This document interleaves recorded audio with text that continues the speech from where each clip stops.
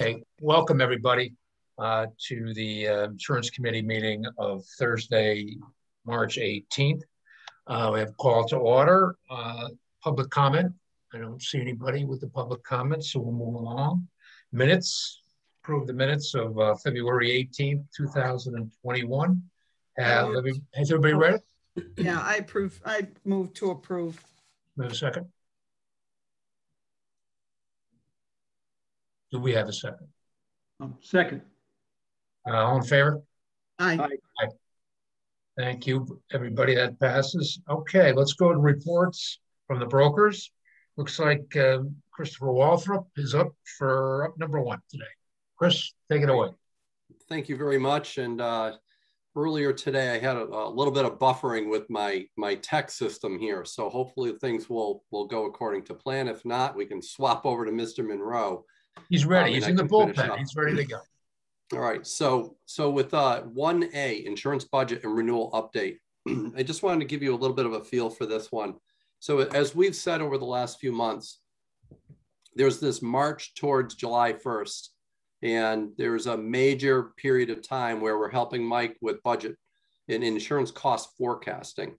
Uh, so that continues. Now, last month, we were able to negotiate um, a, a renewal for your crime insurance. And this is what's known as employee dishonesty coverage. There's coverage for forgery claims and, and other types of, of claims. And um, that's actually, uh, so it renews in March. It's a coverage area that has seen a little bit more heat to it over the past few years with municipalities due to social engineering claims. Um, there have been some other types of claims, and this has been a sleepy coverage area um, that, that really has not had a whole lot of attention. The good news is we were able to get it renewed for re- really no increase in premium, which is actually a little bit less than I thought would be the case. So I give a little credit to my colleague Kathy Crooker, who's not on the line here. Um, but we're very pleased. You know, small item, but all the little items add up, right? So, so that was good. As far as um, the rest of the program, obviously the largest costs lie with the CIRMA LAP package policy as well as the workers' comp policy. We're continuing to monitor not just the Connecticut municipal insurance marketplace, but regionally and nationally. And the, the budget change is primarily in the zero to kind of low, you know, single digit variety for rate change. And comparing that to what the benchmarks are with a number of the stock insurance carriers, you're probably a good three to 10% below what the averages are with some of the other carriers. And in some of the stock carriers, and I was at a, an, I'm part of a national carrier council last Thursday, the, the level of attention that they are giving to, you know, kind of like protecting with larger rate increases, thinking that law enforcement uh, reform is going to lead to increased litigation. They're seeing just increased settlements in litigation on slip fall claims, employment related claims, uh, auto claims. They're, they're very, very nervous about what they think they'll see. So when we look at some of the decisions that were made in terms of partnering with CIRMA, supporting CIRMA, continuing with the, the multi-year budget stabilization agreement, these were smart moves. We, we knew they were going to be a smart move, but we're seeing the evidence of that right now. So, so right now we're in a good position, but at the same time, what we're doing, um, and, and Ashley would say this too, um, over the next 60 days, there will be some more review of you know the claims experience, the risk management practices, and then in the month of May, after you know a review of the April claim results for the LAP and the, and the workers' comp, CIRMA will do a final review to say, okay, were the initial indications that were rendered still accurate? Is there any extra room um, at that point? And then at that point, we'll be asking again, even the member equity distribution program, will it continue? And this is kind of like a dividend. It's not based on claims or anything, but this is CIRMA looking at their financials, looking at the members, rewarding you know, um, loyalty and that type of a thing.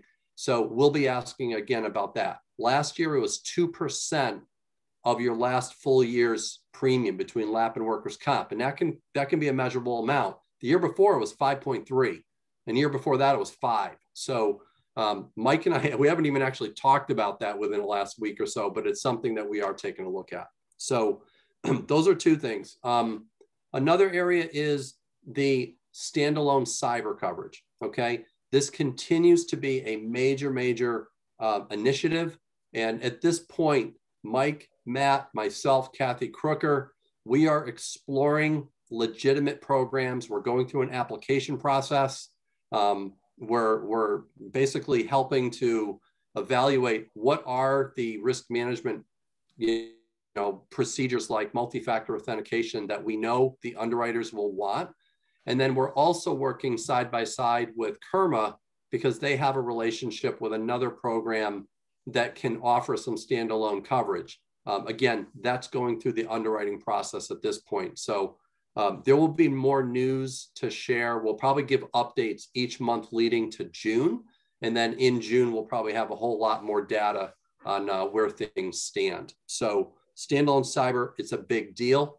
The last thing regarding the you know renewal update part is in the next 30 days, the schedules of property, autos, and equipment will come out from CIRMA. And this is an annual process to make sure that we have the list proper. But at this point, um, what we're going to do again, and we're doing this with our clients, we're going to look at different locations and just say to ourselves, is if there's no contents coverage on a building, like a salt shed or another building, should there be? Is, is any of the coverage greater than it should be? Uh, because things do change, inventory changes, building use changes. So Matt, Mike, and I know about that. So we'll be looking at that. Okay. So that's more of a report about 1A, insurance budget and renewal update. Any questions so far? No, that's good.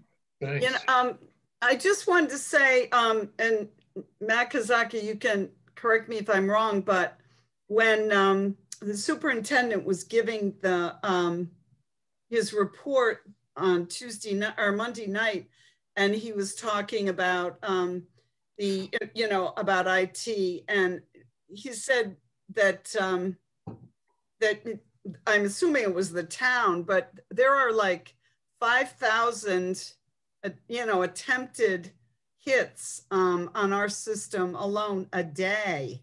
Wow. Um, which I, I was just, I mean, I think everybody who was listening, because some uh, somebody actually did ask him to clarify that. Is that right? Yeah, it, no, that was correct. 5,000. I'm assuming because IT is shared services and it's one platform that it would be the town and the board combined. Right, right. But that was a, that was a daily figure. But I mean, you know, when we're talking about the cyber exposure, I, I was I was shocked when I I mean when I was on the on the board, I had a lot of emails that obviously weren't um uh you know weren't valid, but I'm I was really surprised to hear that no you know that much bombardment that uh um, our systems are getting. So, yeah, it's it's it's literally poly. It's a global phenomenon, you know, and, and the criminal enterprises they are well financed and they're very sophisticated. Um, you may have heard of the SolarWinds breach that happened nationally that's made mm-hmm. headlines. Um, it's now actually a question that underwriters ask. They say, hey, does a municipality use software that comes from SolarWinds, or which is an Orion company out of Texas. Um, but that that actually leads to another set of questions in services. Underwriters are asking questions about those types of things um, in terms of what type of you know do you have your firewalls? Do you have backup integrity and other things like that? But what we're doing is we've always been very very strong working with our clients in what we call vendor supplier risk management. And that gets into contract language. Uh, it gets into creating buffers. And, and I know Paul Mead knows this very, very well, and, and uh, Greg as well. That we what we want to do is we want to make sure that if the town or the school district is responsible some, for something, that's great. But if a vendor, a supplier, even a national software company if they're responsible for something where you incur costs or you're dragged into a lawsuit, they need to be held responsible. So we're continuing to look at insurance requirements and in cases where we can include cyber insurance requirements, include language there where it requires the vendor to be responsible for data breach notification in meeting Connecticut laws. So these are some really important areas to focus in. So uh, more to follow on that, but that's more on the risk management side of uh, what we're doing. Okay. Any other questions on that? All right. So under 1B, other risk management in, in insurance activities, one of the first things, and, and, and, Ashley and I had talked about this, and she, pre she prepared an exhibit for Mike and Matt um, that we looked at. And it's similar to ones that you've seen, you know, historically. But what we like to do at this point, you know, we've gotten into 2021. How does the current year look in terms of your overall losses? And without going into any specific detail, the current year, as of February 28th, on the LAP, so the liability, auto, and property side, things are looking very, very good from several different angles. Uh, the amount of claims in dollars and number for the town is much, much lower than your average. And I would say the same holds true for the school district. So I won't give you numbers, but if you were to measure the total incurred dollars for the current year against the total annual premiums, it's actually in a very favorable place right now. The current year is green, okay? It takes a long time for those numbers to solidify, um, but that's a good, it, it's, you know, you can control what you can control and things are good in that sense, okay? Now, when I move over to the workers' compensation side, and if I had some pieces of paper and we were in person, I'd probably share some information, but it's a similar story. Okay. Now, workers' comp has a, a pretty distinct tail um, where it takes a long time for the numbers to, to solidify. But in your case, um, when we look at the total premiums, your loss ratios are under 20% so far uh, compared to your total annual premium. And, you know, I think it's public, your total annual premium is, is over 800,000. So um, so that's also a good story. Your claim counts are down. I think in part, especially on the school district side, you know, claim count as well as dollars will be down because of the COVID environment where it's really reduced the amount of activities with paraprofessionals and students and things like that. Welcome, Chairman Frank Sina, too. I was painting. You got away. right. I haven't even washed up. Time got away from me.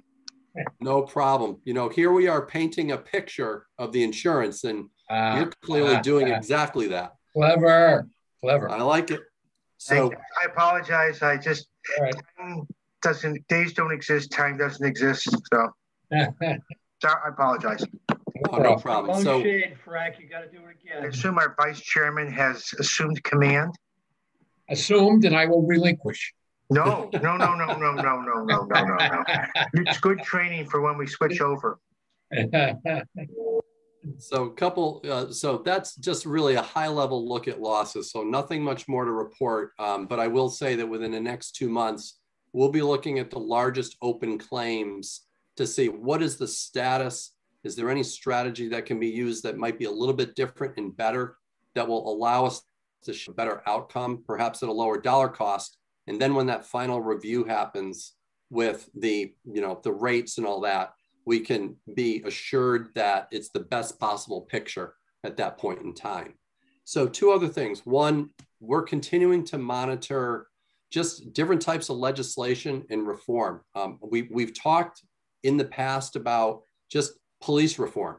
We have the police accountability legislation here in Connecticut. It, there are different provisions in that legislation that take effect in 2021.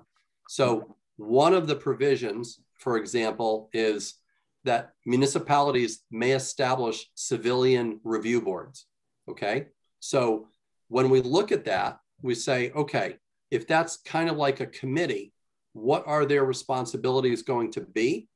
And, you know, what type of training might they need? And lastly, what um, what are the coverage implications? We want to make sure, as your kind of advisors, that the proper level of coverage is in place And if we need to make changes, we make changes. But it's just, it's an example of each year is a different year.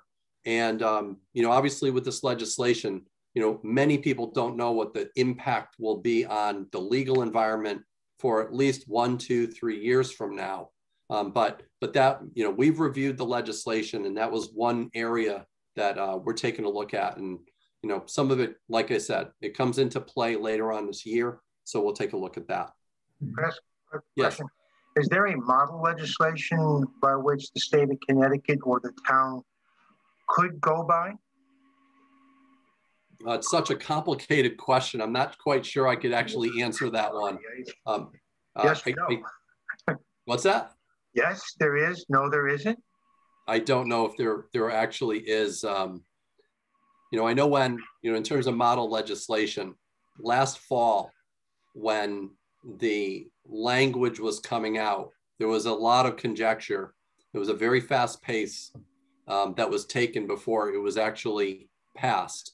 And there were a number of people that said that there was a conflict between, you know, federal law and state law. So in many ways, I, I, I really don't know the answer to that one right now. I wish I could answer your question. Uh, Mike, is, is there, are you aware of anything on the town council or the, uh, uh, the managers, town managers um, um, office that suggested something might like being considered so we can prepare? Not that I'm aware of, Frank. Yeah, and if we hear more, Frank, we'll certainly we'll cascade that out. Um, you know, I would imagine as we get through the springtime into the summer, when some of the key provisions of the mm-hmm. legislation go into effect, we will probably see more on that subject. So I would say more to follow there. Okay. And then the, la the last piece uh, that I'll just mention is just it's it's more in a way of like long term planning, and and as we take a look at the the current structure of your liability insurance and your workers' compensation insurance, one of the things, and my colleague Chris Monroe knows this too, we talk about something called the risk continuum. And, uh, you know, would it make sense as we look at, say, the liability coverage, the workers' compensation coverage? Would it make sense to take on different levels of risk for different retention, like workers' comp, for instance? Would it make sense to explore a large deductible program? Or full self-insurance. So, you know, as we look at the premiums getting to certain levels and we look at internal risk management practices, it's, it's, a, it's a good idea to look down the road and say, okay, maybe not for the next fiscal year or even the following fiscal year, but what if we were to overlay what a different retention structure would look like compared to your current program? And this is looking at literally 10 years worth of claims experience. We have some analytics specialists at USI now on our property casualty side that can help us do these types of um, these types of projects. So uh, it's not something that we've really talked about, um, but it's something that as we go year to year and the budget has so much pressure on it that we have to be innovative. We have to be thinking a little bit outside the box and um, with what we're seeing in Connecticut and around the country with some of the ideas my colleagues have, it's something that I mentioned to Mike and uh, Matt. And, um, you know, slowly we'll be looking to explore what could be potentially be like alternative type um, structures. Not saying we're moving away from what you have, but we want to look at some qualified alternatives. And uh, if it unlocks some savings or is a way to, in a smart way, reduce expenses, um, then that's uh, that's something we want to explore further for you. Okay. So any questions? Sounds good, my friend. All right. Well, thank you very much. And uh, Mr. Mead, like I said, I'll talk with you afterwards. yes. good. All right, Mr. Monroe, you all there? Set, ready to go? I am ready to go. Uh, good evening, everybody. Um, a couple of things um, from my side of the desk, if you will. Um, wanted to touch upon uh, two of the things we typically tackle tackle every month, and then wanted to bring everybody in the loop in terms of a, a meeting that we have scheduled for tomorrow morning with the town and the board. Um, as far as the stuff that we typically tackle, I wanted to first start with the monthly claim liability report. Um, we have eight months under our belt. We've got claims through the month of February. Um, as you peruse that report, you will see that we're sitting on a pretty uh, substantive uh, plan year surplus. Um, we have seen very solid performance relative to budget. And sitting where we are at this point in time does yield a very good year for Wethersfield. Now, we still have to get through March, April, May, June, but there's nothing that I have seen uh, on the horizon that would support a deterioration uh, in comparison to the months that we have year to date. So at this point, you know, we're in great shape. If you look at our history, generally by the time we get six, seven months under our belt, um, that generally uh, is a point in time where we can make the statement whether we're having a good year or a bad year. Um, had a good year last year, and I believe we're going to have an equally good, if not better, year this year. So solid, solid plan performance year to date. Okay. Yeah, we're happy with that, I'm sure. Correct, correct, correct. Yeah, no, it's, you know, it's, you know, so goes large claims, Greg, so goes the year. Mhm. And we've Yep. seen um, large claim activity over the last 18 months calm down, if you will, um, versus what we had seen in, in prior, prior years. Um, so that is based upon where we are year to date. Now, that obviously is going to influence what we expect to see from a renewal standpoint in July. Um, I did include a secondary report that does update the renewal projection based upon claim activity through the month of February.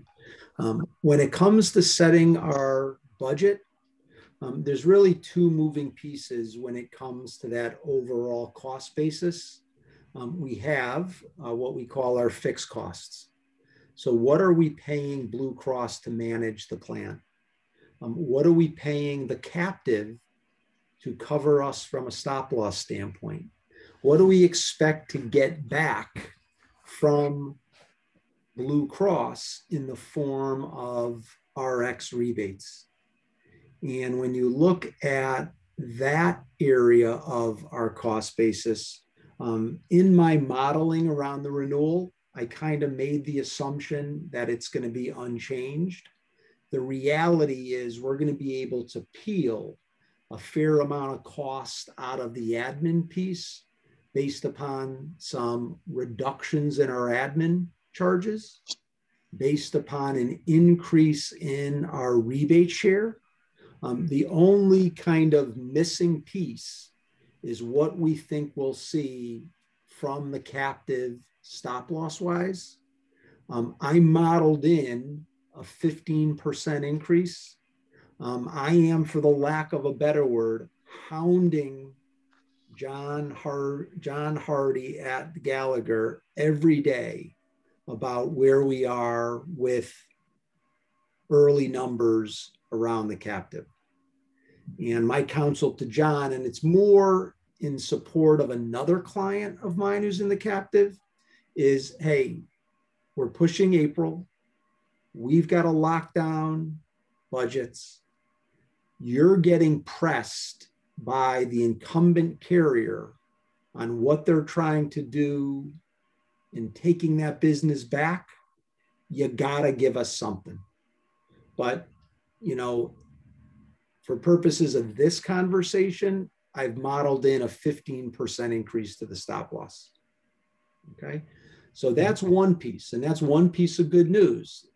You know, to say back to you um, in a very summarized version, the fixed cost component is going to come down.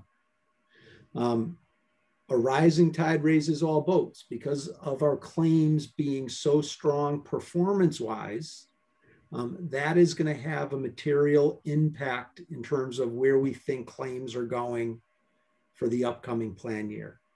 Um, in the projection that we're modeling through, Um, we are folks conservative in the underwriting assumptions that we've applied. Um, we've applied a very healthy COVID adjustment, healthy to the tune of around $850,000. We are applying Blue Cross's published book of business trend factors. Our history is such that we trend lower than Blue Cross's book of business. I didn't build in a Wethersfield specific trend adjustment. I went with the more conservative Blue Cross trend number. I've made no aggressive adjustment around large claims. In our most recent 12 months, we had six claims over 150,000. Our prior history supported six to eight. I built in eight. So one can argue that on a $150,000 pooling point, two additional large claims, we've modeled in $300,000 in additional claim cushion. Even with all of those adjustments, we're projecting roughly a 6% reduction in our claim spend. So when you folks kind of roll it all up and you look at what we're projecting for the upcoming year versus what we have for the current year, you're looking at around five, 6% reduction in cost. That translates into about $700,000. However, here's the big roadblock that we have to stop for. Um, we have to ask ourselves the question are we well reserved when it comes to our reserve liabilities on the account? You know, and what do I mean by that? Do we have the right incurred but not reported reserve on our books?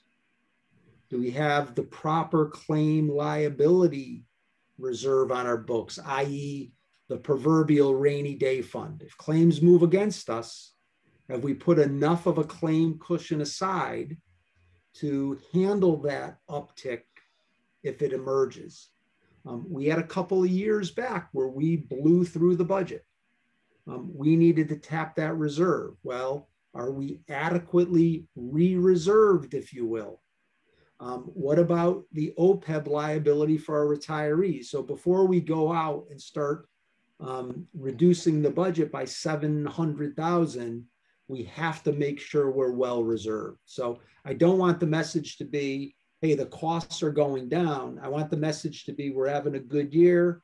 There's evidence to support the costs going down, but we need to be cognizant of making sure before we reduce that budget uh, well reserved in other areas.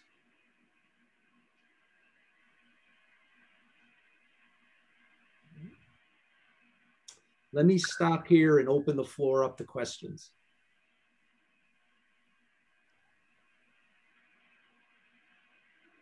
Okay. There you go.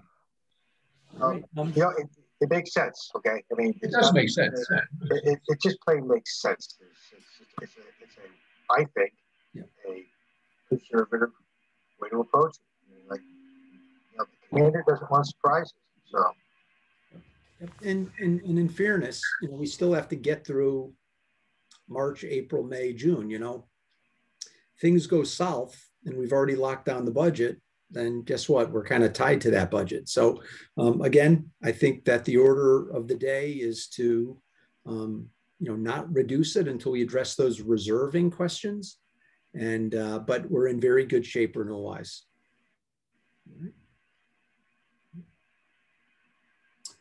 Um, everything that I've served up to you is based upon the status quo.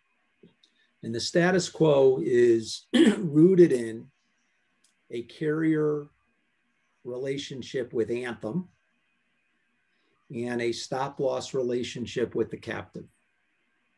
Um, we have struggled in our relationship with Anthem. Um, the struggle has intensified over the last two or three months because of some systems conversions that they're going through. but it is very much a hourly existence for me to get an email from somebody at Wethersfield, whether it's on the town or the board side, about another continued problem with Anthem. Um, people can't verify coverage. Um, retirees aren't getting their claims paid. The way the plan was adjudicated in the past has changed. People can't verify coverage. The RID cards are wrong. So it's a it's a challenge, very much a challenge. Um, as you folks know, um, we never really stopped our marketing efforts that kicked off um, January 2020. Um, we've just kind of kept that train moving down the track. The meeting tomorrow with the town and the board is to go through the marketing results. The marketing results, in essence, point to the following path forward. Um, there's strong support from where I sit to consider ending the relationship with Blue Cross, partnering up with Cigna to serve as our claims administrator. Um, keeping the captive in place as our stop loss provider. Putting in place Express Scripts as our pharmacy benefit manager. So we've kind of gone from an environment where um, two pieces of the pie were managed by Anthem and the captive. We're now going to kind of a three piece of the pie, if you will, where you have Cigna serving as the medical administrator, Express Scripts managing the pharmacy, and the captive uh, managing the stop loss. When you look at the estimated savings over a three year period from a fixed cost standpoint, you're looking at around a half a million dollars over three years. Now, if you pull into that discussion, um, express scripts, and a repricing exercise that they did on the pharmacy claims, um, that is expected to yield an additional 100,000 in savings annually. So you can argue that the combination of the fixed cost coupled with this better pricing arrangement on the pharmacy claim side um, could inflate that savings from 500 to 800,000 over the next three years. But what it also does, folks, is in some measure, um, it gives us a fresh bite at the apple when it comes to a carrier that uh, I feel might have a little bit stronger customer service commitment than we've seen out of Anthem for the last year. That's a pretty big move. Yep. Yep. Now, if you were a private sector employer, then the discussion evolves between myself, the CEO, the CFO, and the HR director. And that group of three, yays or nays, and then we move on um, but that's not us. Um, we have bargained agreements that need to be considered. So the meeting tomorrow is based upon the town and board going through the numbers and saying, is there enough here to move forward? And if the answer is yes, then that becomes hurdle one that we've cleared. But then we have to engage the unions. Um, we have pulled together what is called a disruption report, where we've looked at the 2,600 physicians or facilities that our people have utilized. And from that report, we're able to say in moving this business to Cigna, you're essentially able to replicate the provider access that you now have through Blue Cross. So Joanne is not going to have to worry about losing her access to the providers that she sees today. Greg is not going to have to worry about the pharmacies that he sees today and, and, and loss of that access. That's what the disruption report yields. Um, what I typically do in my disruption reports is I start by looking every single provider. and that's going to capture your chiropractors, your family practitioners, your oncologists, all the hot, every single provider that flows under that. But I think what I also adds value is we then create a subset where we look at mental health providers. Um, I have no problem standing in front of somebody and saying, you might have to change your pediatrician. It's not an easy message, but there's a whole lot of pediatricians out there. Um, I don't have a problem saying to somebody, hey, the chiropractor you go to, you might have to find a new one. It's very difficult to say that to somebody when it's a behavioral health issue. Mm-hmm. Um, you find as an industry that from a behavioral health standpoint, whether it's Anthem, Cigna, Aetna, United, um, you find a lot of behavioral health physicians who are unwilling to join those networks. Now, I don't want to give you the impression that they're bare bones, they're not. But you have a lot of instances where those folks say, I don't have to join the network. I know that I provide such a service to you or your child or what have you you'll pay me out of network if I don't belong to those carriers. So I don't want to deal with the hassle of Cigna, Aetna. If you want to see me, I'd love to see you, and you're just going to pay me direct. That's just the nature of how that area of the business works. But we have to be cognizant of it. And the results from Cigna are good. Um, there are about 18, 20 behavioral health providers that fall out. And I've said to Cigna, we have to come up with some solution on a chunk of these because, again, it's sensitive. And you have people that struggle to find the right behavioral health professional. And you really don't want to disrupt that if you if, if you can avoid it. So that's one of the things that we'll ultimately have to kind of share with the union, rightfully so, and make them aware of what's going on. The last thing we'll share with the union is a formulary disruption report. And it's essentially me going through and saying, hey, the town of Wethersfield generated 22,000 scripts in the 2020 plan year or calendar year. And guess what? Of those scripts, 98.5% are also on the Express Scripts formula. And the 1.5% that are not, here are those 300 scripts that comprise 30 drugs. Hate to say this to you folks, but those are the drugs that come off the formulary.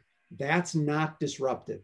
The union cannot say that's disruptive. If it was 10% of the drugs coming off, that's disruptive. But the second hurdle that we have to clear is we have to get the unions to feel comfortable with this. Doesn't mean they can tell us no. It just means that you want to avoid a grievance and you want to be able to make them part of the process if you can. And that's what we're going to be tackling tomorrow if there is that, um, that incentive to move forward based upon that half a million. I'm going to make one more statement, uh, statement and then I'll shut my yapper on this. Um, Anthem is still not out of the game. Um, Anthem is making a hard push to stay in the game, and the way they're doing it is by going after the captive from a stop loss standpoint. They're going after the captive and undercutting that rate. Now, Anthem will tell you they're not undercutting the rate. And there's some plausibility in what they're saying. What they're saying is we're floating the same rate we floated to Wethersfield for the last two years. And that to us shows our commitment where that rate doesn't change debatable. But they're making a push. In the Anthem world, the savings would be 650,000 over the three years. But candidly, folks, I, I, I just don't think they've earned the right to stay in place. And I don't want to minimize 150,000 over three years, but you know, paying a $50,000 additional cost to find yourself with the right premium on a $10 million line item, that's money that the town and board should rightfully spend. Because again, candidly, I don't think An- Anthem, as of late, has earned the business, whether it's the last three months or kind of one of the uh, levers that they pulled last year to prevent us from carving out the pharmacy.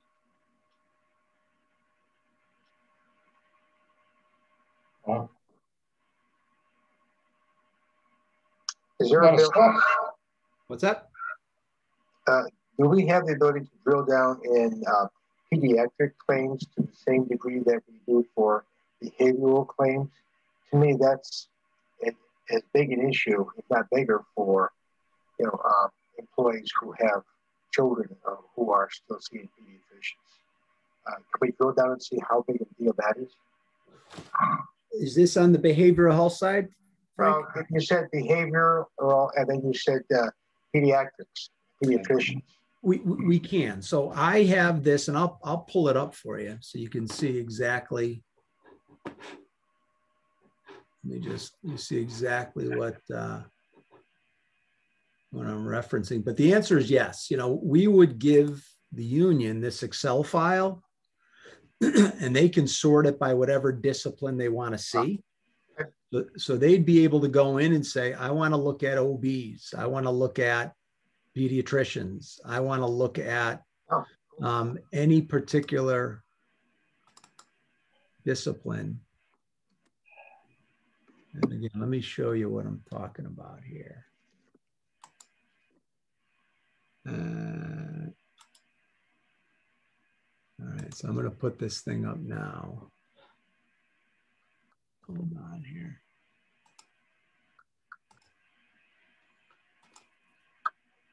So let me know when you can see my screen.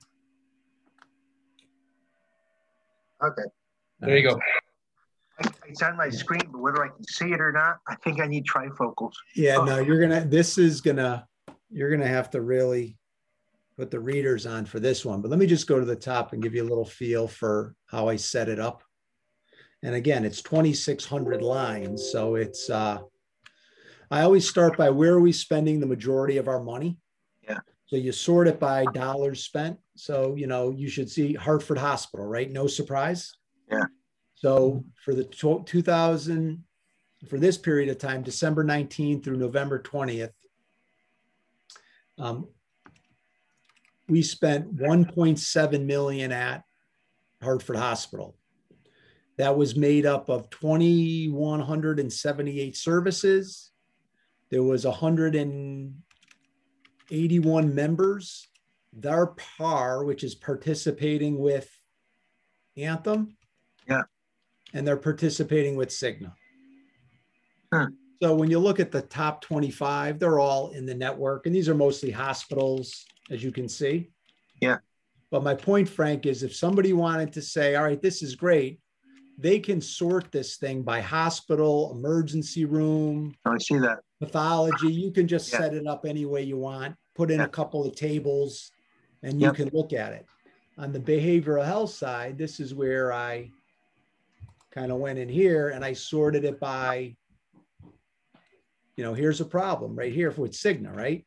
Yeah. This, this provider in Glastonbury, licensed clinical social worker, not a lot of dollars spent, 35 services, um, one member.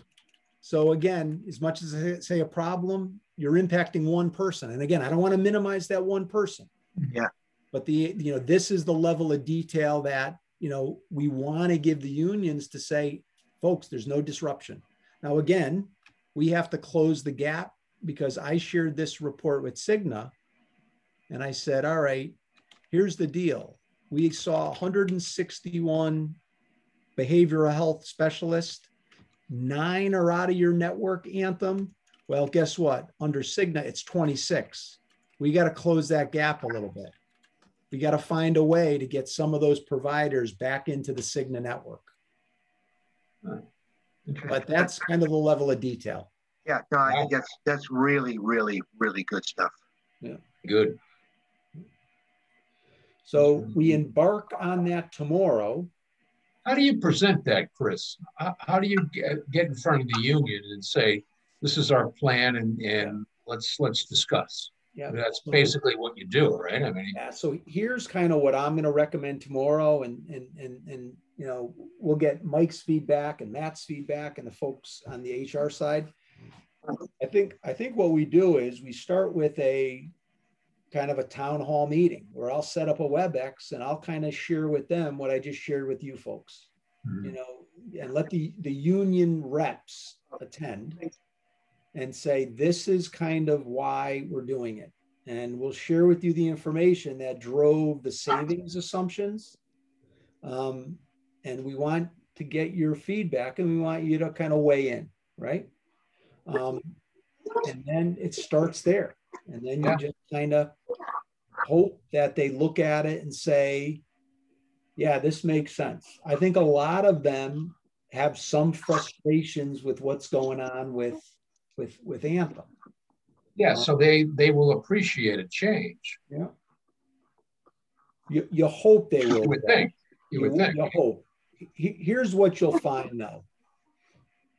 You know, well, what is the half a million dollars? Well, that's a half a million dollars over three years. So 150, 175,000 a year. It's not going to have a huge material impact on their employee contribution. So you might be talking a couple of bucks here and there. So it's not like this is a windfall for the unions. What you have to convey to them is, hey, we have a fiduciary responsibility to partner with those who are best in class. And we have a fiduciary responsibility to look at the aggregate value of any savings. We're not doing this exercise to save 150,000 over 3 years, Hmm. but the ability to save 500,000 on the fixed costs and maybe an additional 300,000 on the pharmacy claim side. Yeah, that's we'd be breaching our fiduciary duty if we didn't do it. You didn't Now, do it, if you're right? the cop paying 20% of the premium, we're paying 80, you're not going to see a huge windfall, but that doesn't mean we can't produce it, uh, pursue it. And oh, by the way, folks, Anthem hasn't been, a, you know, a good provider, and you felt that burden um, as well. Interesting. Well, you see what happens, right? Yeah. Throw it out there. But again, as you said, Chris, they can't say no. Uh, you, what they can do is they can grieve it, and there are Yeah, some provisions that, that, that of course. here here's where they can shut us down greg there there are some contracts i think it's one in particular that says if we grieve this no action can be taken until there's a mediation outcome Yeah. and you're talking months down the road you're done you're done for It july Calls it all off. Yep. you're done Well, We'll see what happens. Yeah. I think we have a solid case. Yeah. I mean, you present the case and you, and listen, everybody wants to save a couple of bucks. Yeah, I I mean, in, uh, in, in wellness programs, five percent is a, is a small number, but it's a big threshold. What, what I say is you look at the 500,000 as a percentage of your fixed cost. It's a big number. It's a big Yeah. percentage. Yeah. And if you're, if you're melding that in with eight, nine million dollars in claims, well, guess what? You know, 500,000 over three years when we're going to spend 30 million, people are like, that's nothing. And it's not, it's, it is nothing. But when you look at just, all right, we're going to spend 3 million in fixed costs, then you're going to pull a half a million dollars out of that. That's 15%. That's up. 15% gets my attention. no money, as they Yeah. say. Yeah. So does that beg the question, so are, are rates going down? Well, I, th- I think, but uh, you know something, uh, you know, for some, yes, for some, no. Like I'm, I, I've got another municipality, Greg, uh, Frank, same thing. They're, they're flatlining their budget this year. They're having a good year. I got another one. They're at 7%. I've got a nonprofit, fully insured, 6%. I've got another one that I'm wrestling with now, 100 Life Group, 27% increase. So it's all over the place. You know, you're you're you're only as good as your most recent 12 months worth of claims in large measure. And if your claims are good, your renewal's good. If your claims are bad, your renewal is bad. Pretty easy. Yeah. So, so the answer is we seek stability. We see over the long term. Yep, mm-hmm. correct, Okay, I got that. correct. So that's the plan for tomorrow morning. Mike, is there anything I left out or? No, could you just, if you can briefly, Chris, going back to the stop loss. Is it an apples to apples comparison to take Anthem's seventy-four dollars and compare it? And I don't have the number in front of me of what we're paying uh, CT Prime now. It, it, it is apples to apples. We're paying hundred and three dollars now. It's apples to apples from the standpoint that, you know, the hundred and fifty thousand dollar threshold is the same. Um, what falls under that threshold would be all medical and pharmacy claims that breach the pooling level. Um, it's a 1812 contract, which is kind of what we have today. So it is apples to apples. Um, you know, I guess I'm, I'm, I'm thinking of the back end, not so much what it would cover, but in terms of the, you know, so, so this Anthem is offering the 74, assuming they have the whole program, obviously, correct. Which makes a difference to them. CT Prime, so CT Prime, for, for people who don't know, uh, this current year and last year did not actually function as a captive. We didn't bear, we, and I say we, you know, because we're a member of CT Prime, we didn't bear any risk the last two years because of the experience that we had in the in the two or three years prior to that. So we went from um, from bearing some of the risk in the captive to um, in fiscal 20 a year ago, uh, Anthem fully insured the captive, if you will. So it was just a cooperative uh, purchasing of stop loss loss insurance among the members of CT Prime. And then likewise, in the year that we're in, 21, we have a similar policy with Gerber. So, but on top of that, we have, so I guess, and I can't remember what the captive paid to Anthem two years ago, if that helps, or if that's, but, but the, the, the captive also has its own overhead. So on top of what it pays Gerber this year, Anthem two year, you know, a year ago, on top of what it pays for that coverage, we also have to get an audit done. We have to pay, um, we have to pay Marsh to to do financial statements, and we have attorneys and all of that. So so that's part of the the hundred and three dollars is that overhead, which is something that Anthem doesn't have, right? In the seventy four, or they can say, uh, you know, they're they're not saying, but you know, that 74, they want to make that number look as good as it can look vis-a-vis CT Prime, so they can be carrying all their overhead in other parts of the program, other parts of the proposal. True? Yep, true, true. So you're right. Um, if you peeled off of those ancillary charges, you know, what becomes of that 103? Is it 95? Is it 90? Anthem doesn't have to carry that. That's already baked in. I think the other thing that, you know, I was remiss in mentioning is there is a capital account at the captive. If we ever left, you forfeit your capital account. Now, I don't know what's in that capital account. I'm trying to get that from Gallagher, but say we had 10% in that capital account. Well, you walk away, you're forfeiting 50 grand. I'd say, say it was a half a million dollars in the account. Um, there's 50 grand that has to get baked into this calculation, Mike. Um, in a perfect world, John Hardy comes back and says, Hey, things are great. We're not expecting big changes. Uh, you know, Wethersfield's adjustment this year is 5% or 7%. It just limits the savings that emerges under Anthem because my concern is does the union say, hey, your solution right there is just to stay with Anthem and get rid of the captive? Well, that's a solution. Don't get me wrong, but Anthem has done nothing but, you know, feather their own nest over the last two or three years. And, you know, why would we reward bad behavior? We have, you know, a, a commensurate amount of savings by kind of going out and keeping the captive until we're ready to walk away from it if the evidence supports that and do our own thing with the pharmacy and partner with a carrier that's better. So long way around the barn. Yeah, they, they you know, we, we'd have to defend why we don't go with Anthem, but I think that's an easy thing to defend. You know, and I would say to the, you know, the police officers, I'd say to the teachers, you tell me how, how good has Anthem been to work with the last six months? You know, these, these aren't isolated incidents. They're somewhat systemic in terms of these problems. Agreed. So, I mean, I just, the way I look at the stop loss and the difference between $103 and $74 is that some of that is attributable to overhead that again Anthem can carry in some other part of their some other aspect of their fixed costs, right?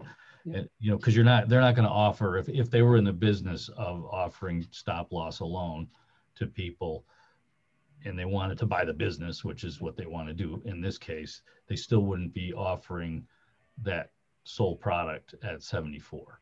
Yep, yep, yep. Um, right. So there's so that to me shrinks the difference. And the other thing that shrinks the difference is that Anthem is trying to buy the business. Mm-hmm. And that they they've you know it's been very clear some from the beginning of the captive that they want to you know see it go away. They want to put it out of out of business. So they're willing to take a loss. You know, I have to believe. I mean, I don't have any way to know that, but um, except for the difference and the fact that the captive runs very, you know, we wish we were bigger, but we've got, you know, we've got 10, 10 or 11 members. You know, it's it's still, you know, enough of a of a group to to realize uh, some real savings and and the overhead, you know, the way it's run is is fairly lean. Um, Matt, what's your take on the Board of Ed side and the unions? And I know, I'm sure you've talked to Trent. He's frustrated with how Anthem's handled things, but you know, what's your sense in, in what you've heard? I haven't heard much. It's unfortunate that the unions run the district in this sense and that they are in favor of grievances when they don't like the potential outcome. So we really have to sell it to the major bodies for the Board of Ed to move forward. Yep. yep. And you know, folks, here's the thing we were close last year. We had the teachers on board. We had every bargaining unit on board with the exception of the police now, last year was a little different. All we were asking them to do was allow us to go to a new pharmacy provider. Anthem stepped in and triggered a clause and nixed it. So this year's a little bit different, right? You're asking them to make the same commitment, them being the unions on the pharmacy change, but you're now also asking them to make a change on the Anthem side. So we'll see. We'll see what tomorrow yields.